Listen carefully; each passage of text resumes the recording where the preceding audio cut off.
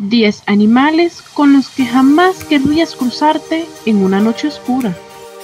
Dos cabezas mejor que una. La parte sobresaliente del dorso de este lagarto, con aspecto de dragón, el diablo espinoso, sirve de protección contra sus depredadores, que la confunden con su cabeza.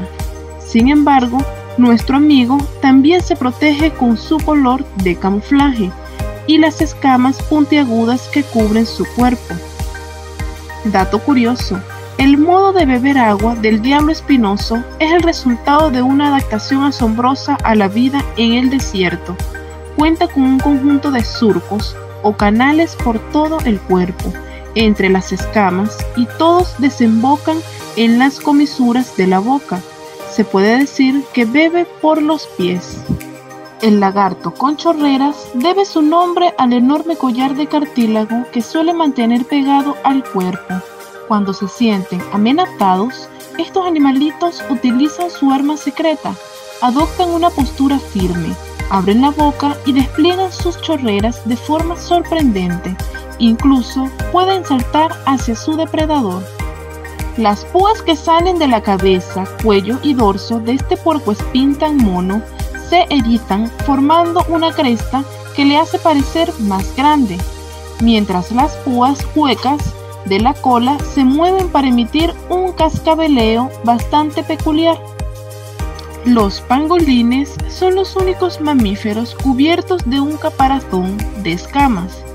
Cuando se ven amenazados, se enrollan sobre sí mismos hasta formar una bola para protegerse.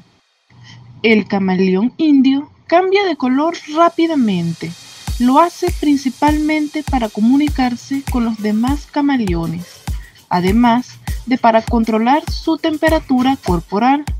Absorbe calor al adoptar un color más oscuro. Todo un personaje.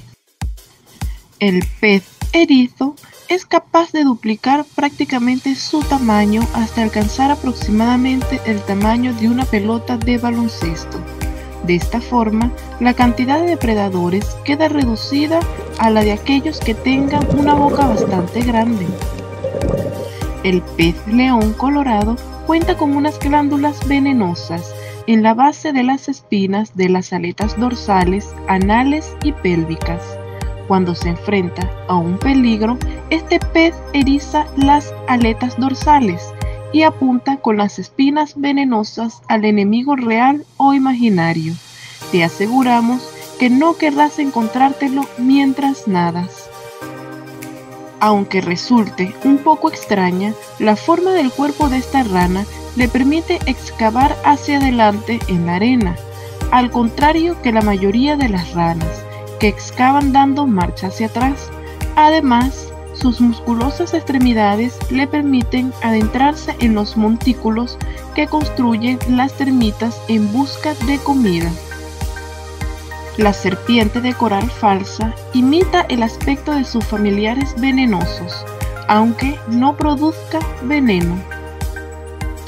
Esta mosca cuenta con ojos penduculados por varios y más que útiles motivos. En primer lugar, los ojos la dotan de una visión superior y le permiten incluso ver a la vuelta de la esquina. En segundo lugar, el pendúculo se puede usar como arma para atrapar a los competidores. Y por último, cuanto más largo sea el pendúculo y más alejado estén los ojos entre sí, más llamará la atención de la hembra como macho grande y fuerte, además de ser indicativo de que se trata de un buen partido desde el punto de vista genético.